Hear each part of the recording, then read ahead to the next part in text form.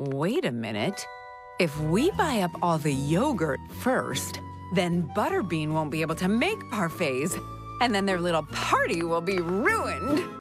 How dare you open a spaceman's helmet on an uncharted planet? My eyeballs could have been sucked from their sockets.